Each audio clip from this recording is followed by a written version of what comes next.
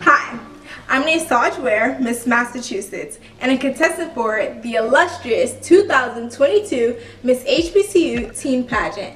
As the next Miss HBCU Teen, I'm looking forward to giving marginalized youth access to amazing opportunities and improving the culture of historically black colleges and universities and communities where HBCUs are underrepresented. Currently, I'm the founder and instructor of Girls in Real Life Sanctuary, a mentorship program I designed to cultivate mentoring spaces for black and brown girls. Additionally, I'm the youth liaison for Boston City Councilor at Large, Julia Mejia. In this position, I serve as the bridge between youth and Boston's municipal government, ensuring that young people have a seat at the table of every discussion that impacts us. I started advocating for young people, minority youth especially, at the early age of 11, when I partnered with local advocacy groups to protest against public school budget cuts.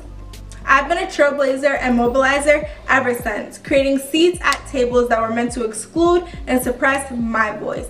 Education is liberation, and as Miss HBCU Teen, I intend to use my title to develop learning spaces for alienated youth and inspire black and brown people to attend institutions made for us and by us, because the power of an HBCU education is unmatched.